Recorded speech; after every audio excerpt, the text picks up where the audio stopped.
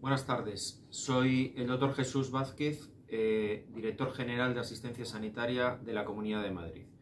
Para mí es un profundo honor el estar participando en, en la presentación de este 35 Congreso Nacional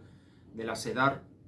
En primer lugar, quiero darle eh, mi reconocimiento a todo el equipo eh, que ha trabajado en el comité científico y en el comité organizador de este congreso. Como no puede ser de otra manera, también a mi querido presidente nacional, doctor Javier García,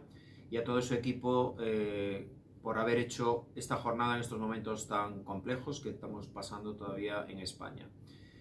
Al hilo de esto sí que quiero eh, aprovechar para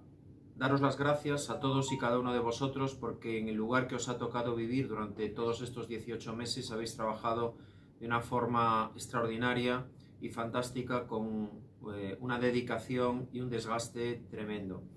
Por eso creo que es justo reconocer el trabajo que habéis hecho todos y ese compromiso,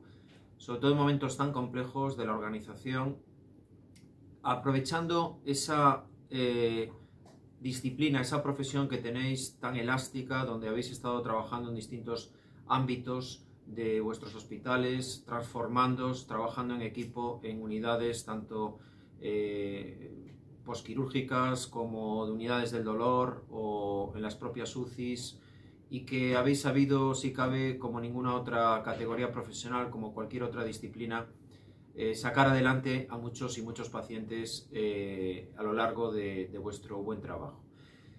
Sí que debemos de reconocer que esto tiene que ser un trampolín para aprovechar de una crisis un cambio, una mejora y en vuestro caso sí que os animo a ese eh, profundo reconocimiento como la especialidad que tenéis,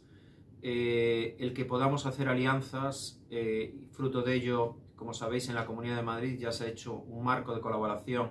con la especialidad de UCISTAS y creo que eso es el camino que tenemos que tomar, el camino de ir juntos, de hacer alianzas y trabajar en red, como no puede ser de otra manera. Por eso, ojalá tengáis un foro de encuentro científico mm.